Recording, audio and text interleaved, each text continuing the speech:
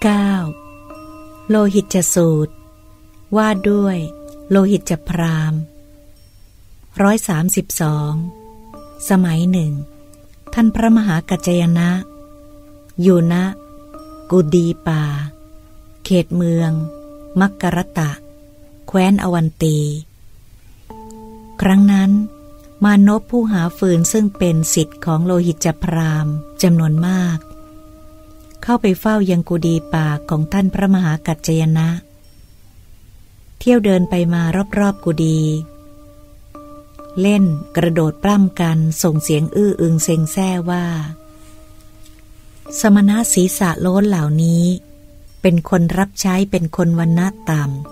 ำเกิดจากบาทของเท้ามหาพรหมอันชาวภารตะเหล่านี้สักการะ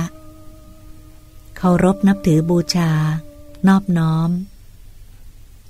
ลำดับนั้น ท่านพระมหากัจจยนะออกจากที่อยู่แล้ว ได้กล่าวกับมานพเหล่านั้นดังนี้ว่า มานพทั้งหลาย เธอทั้งหลายอย่าได้ส่งเสียงดัง เราจะกล่าวทำแก่เธอทั้งหลาย เมื่อท่านพระมหากัจจยนะกล่าวอย่างนี้แล้ว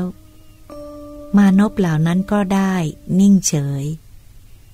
ลำดับนั้นท่านพระมหากัจจยนะได้กล่าวกับมานพเหล่านั้นอีกด้วยคาถา ทั้งหลายว่า พรามเหล่าใดระลึกถึงธรรมดั้งเดิมได้ พรามเหล่านั้นก็เป็นผู้มีศีลสูงสุด เก่าแก่กว่าพรามเหล่านั้นคุ้มครอง รักษาทวารทั้งหลายดีแล้ว เพราะครอบงำความโกรธได้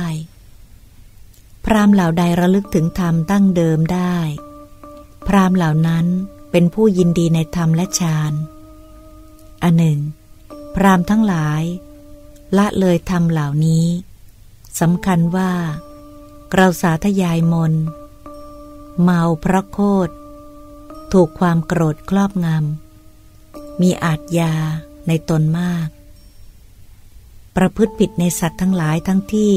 สะดุ้งกลัวและไม่สะดุ้งกลัว จึงประพฤติไม่สม่ำเสมอ การสมาทานวัดทั้งปวงคือ การไม่กินไม่นอนบนพื้นดิน การอาบน้ำเวลาเช้า และพระเวทสามของพรามผู้ไม่คุ้มครองทวาร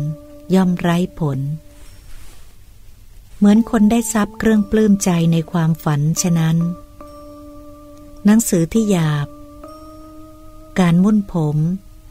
การไม่ชำระฟัน มน ศีลและพรตเป็นตบะ การหลอกลวง ใช้ไม้เท้าคด และการใช้น้ำลูบหน้าข้อวัดที่พรรณนามาเหล่านี้ พวกพรามทำเพราะต้องการอามิตร ส่วนจิตที่ตั้งมั่นดีแล้วย่อมผ่องใสไม่ขุ่นมัว อ่อนโยนในสัตว์ทั้งปวง นั้นเป็นทางเพื่อถึงความเป็นพรหมลำดับนั้น มานพเหล่านั้นโกรธเคือง ไม่พอใจ ได้เข้าไปหาโลหิตจพราม ถึงที่อยู่แล้วกล่าวกับโลหิตจพรามดังนี้ว่า ขอท่านผู้เจริญโปรดทราบ พระมหากัจจยนะ ค่อนขอด คัดค้านมนของพรามทั้งหลายโดยส่วนเดียว เมื่อมานพเหล่านั้นกล่าวอย่างนี้แล้ว โลหิตจพรามโกรธเคืองไม่พอใจ ที่นั้น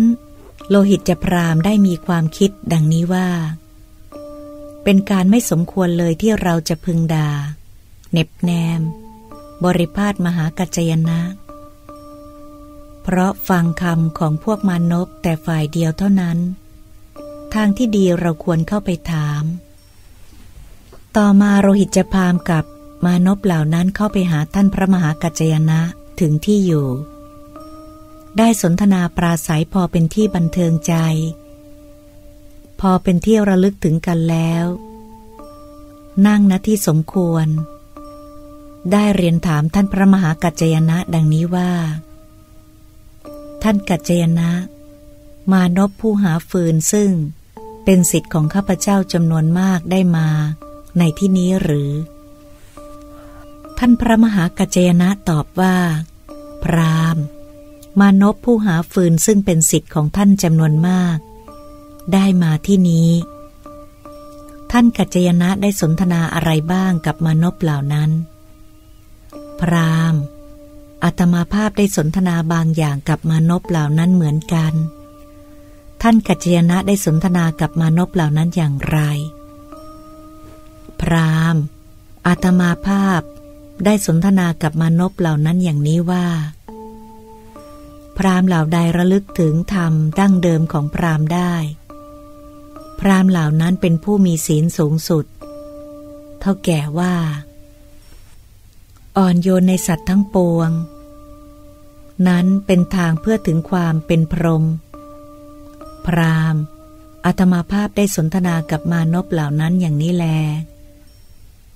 ท่านกัจจยนะได้กล่าวว่าบุคคล ชื่อว่าไม่คุ้มครองทวาร ด้วยเหตุเพียงเท่าไรหนอ บุคคลจึงชื่อว่าไม่คุ้มครองทวารพรามบุคคลบางคนในโลกนี้เห็นรูปทางตา แล้วย่อมยินดีในรูปที่น่ารัก ยินร้ายในรูปที่ไม่น่ารัก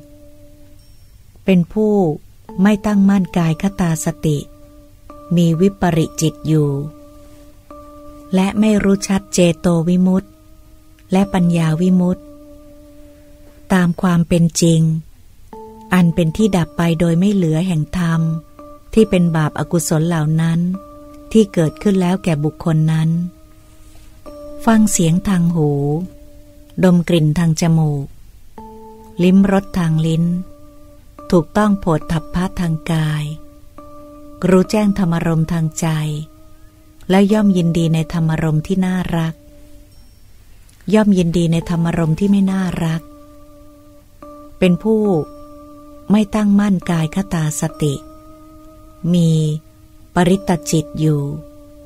และไม่รู้จักเจโตวิมุตต์และปัญญาวิมุตต์ตามความเป็นจริง อันเป็นที่ดับไปโดยไม่เหลือแห่งธรรมที่เป็นบาปอากุศลเหล่านั้นที่เกิดขึ้นแล้ว แก่บุคคลนั้น พราหม์บุคคลชื่อว่าไม่คุ้มครองทวารเป็นอย่างนี้แล พราหม์กล่าวว่าท่านกัจจยนะ น่าอัศจรรย์จริงไม่เคยปรากฏ ท่านกัจจยนะเรียกบุคคลผู้ไม่คุ้มครองทวารแล้วว่า ไม่คุ้มครองทวารท่านกัจจยนะได้กล่าวว่าบุคคลชื่อว่าคุ้มครองทวารด้วยเหตุเพียงเท่าไรหนอ บุคคลจึงชื่อว่าคุ้มครองทวาร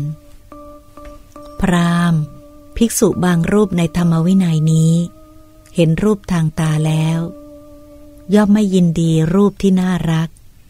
ไม่ยินร้ายรูปที่ไม่น่ารัก เป็นผู้ตั้งมั่นกายคตาสติ มีอปมาณจิต และธรรมที่เป็นบาปอากุศลเหล่านั้นที่เกิดขึ้นแล้วแก่ภิกษุนั้น ฟังเสียงทางหู ดมกลิ่นทางจมูกริมรสทางลิ้น ถูกต้องโผดทับพาทางกาย รู้แจ้งธรรมรมทางใจแล้ว ย่อมไม่ยินดีในธรรมรมที่น่ารัก ไม่ยินดีในธรรมรมผู้ไม่น่ารัก ผู้ที่ยินร้ายในธรรมรมที่ไม่น่ารัก เป็นผู้ตั้งมั่นกายคตาสติ มีอปมัญญาจิตอยู่ และรู้เจโตวิมุตต์และปัญญาวิมุตต์ตามความเป็นจริงอันเป็นที่ดับไปโดยไม่เหลือแห่งธรรมที่เป็นบาปอากุศลเหล่านั้น ที่เกิดขึ้นแล้วแก่ภิกษุนั้น พรามบุคคลชื่อว่าคุ้มครองทวารเป็นอย่างนี้แล กัจจยนะ น่าอัศจรรย์จริง ไม่เคยปรากฏ ท่านกัจจยนะเรียกบุคคลผู้คุ้มครองทวารแล้วแลว่า คุ้มครองทวารท่านกัจจยนะ ภาสิทธิ์ของท่านชัดเจนไพเราะยิ่งนัก ท่านกัจจยนะ ภาสิทธิ์ของท่านชัดเจนไพเราะยิ่งนัก ท่านกัจจยนะ ประกาศธรรมโดยประการต่างๆ เปรียบเหมือนบุคคลหงายของที่คว่ำเปิดของที่ปิด บอกทางแก่ผู้หลงทาง หรือตามประทีปในที่มืดด้วยตั้งใจว่า คนมีตาดีจะเห็นรูปได้ ข้าพเจ้านี้ขอถึงพระผู้มีพระภาคพร้อมทั้งพระธรรมและพระสงฆ์เป็นสารณะ ขอท่านกัจเจยนะจงนำข้าพเจ้า ว่าเป็นอุบาสกพูดถึงสารณะตั้งแต่วันนี้เป็นต้นไป จนตลอดชีวิต อันหนึ่ง ขอท่านกัจจยนะจงเข้าไปสู่ โลหิตจตระกูล เหมือนดังที่ข้าพเจ้าไปสู่ ตระกูลบุตรอุบาสก ทั้งหลาย ที่เมืองมักมีองค์แปดลาวมานพหรือมานวิกา ในโลหิตจะตระกูลจักไหว้ลุกรับ ถวายอาสนะ หรือน้ำแก่ท่าน ข้อนั้นจะเป็นไปเพื่อประโยชน์เกื้อกูล เพื่อความสุข แก่พวกเราตลอดกาลนาน โลหิตจะสูตรที่เก้าจบ